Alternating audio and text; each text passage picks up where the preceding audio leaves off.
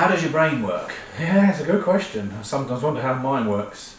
Um, the easiest way to explain how your brain works is to, if you think, let's say, of a seed, one tiny little seed that's planted in the ground. With the right encouragement and the right nutrients, that seed will develop some roots, and those roots spread out and look for nourishment, look for things that are going to help it to grow. Our thoughts are seeds. Our thoughts are the same things in your mind that, when planted, send out these little roots, these little neural pathways. And these little neural pathways, they're called dendrites. And these dendrites, what they do is they're looking for new uh, pathways to, to source other areas of your brain for information that can support that thought or that process. And the more of these information uh, pockets they can find in your brain, the stronger these roots, these dendrites, these neural pathways become. Until, in the end, you think about something and it, it, it will automatically just go to that part of your brain because the pathway is very strong, very, um, very well used um, and very supported.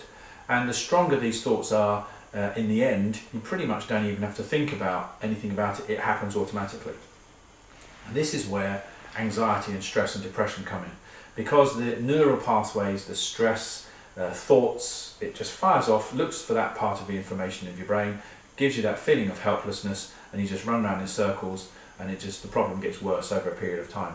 So your brain is such a tremendous learning tool. So what we need to do is to find ways to break those habits. Now, interestingly, if you have a thought about something that's happened in the past, if you were to scan the brain at that moment, you would see certain areas of your brain light up when you were thinking about a memory in the past. Here's the fascinating bit. If you think about something in the future or imagine something as though it's going to happen, but it hasn't, it fires off that same part of your brain in a scan. Well, that actually means then that you can start to create your own neural pathways if you repeat that same process by visualizing certain things or goal planning or whatever it is and rehearsing in your mind, you build these neural pathways and these dendrites to this new information. The more you do that, the stronger that becomes and the easier you find it to be able to do something. And a study was done uh, some time ago in America where they got three groups of people uh, with regards to shooting baskets through a hoop. They took one group and asked them to practice for 30 minutes a day, every day for five days. And all they did was physically throw the ball through the hoops, nothing else.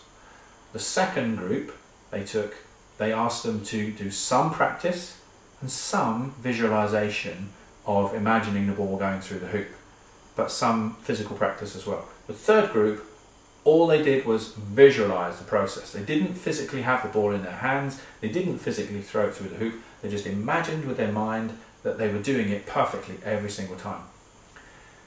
After the five days, they then did a test to see how many of the balls that could be thrown into the hoop, how many were successful.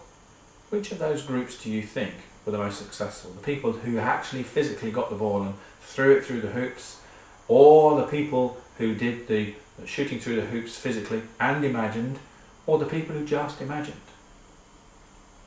Let me give you a clue. The people who visualized had something like 16% more improvement in their accuracy than the other two groups.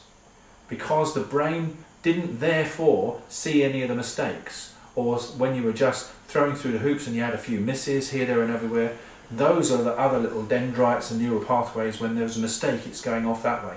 When you purely visualize something and nothing else, and you're only visualizing success, these dendrites and these neural pathways are building and becoming stronger and stronger and stronger because all it sees is success.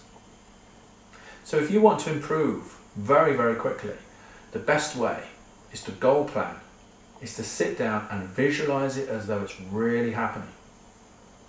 Some people say, isn't that just dreaming? Well, dreaming is when you don't put a date on it. Goal planning is when you say, this is what I'm going to do and by when. And actually imagine it happening. But this also works with regards to illness and disease. you can think, you know, oh God, I can't do this, and I've just got every time this happens, I'll get a headache, or I'm going to be sick, or I'm, and all of these dendrites and these neural pathways just automatically know in that situation you're going to be sick, or you're going to be having a migraine, or whatever it is. If you start to imagine how you want things to be, the chances of success are infinitely greater. So have a little play with this. Think of something that you really want. Imagine that you've got it. Imagine that you're doing it. Imagine that you're being whatever it is you want to be. Build these little roots, these neural pathways, these dendrites stronger and stronger in the way that you want them to be. And I guarantee you, you will get far more or far closer to that goal than if you imagine the opposite.